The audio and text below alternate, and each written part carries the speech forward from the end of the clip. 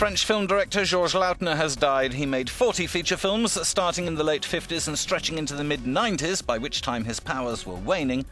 But that was not before he made the deliciously immoral and knockabout Les Tontons Flingueurs, 50 years young next week, and beloved as a cult movie.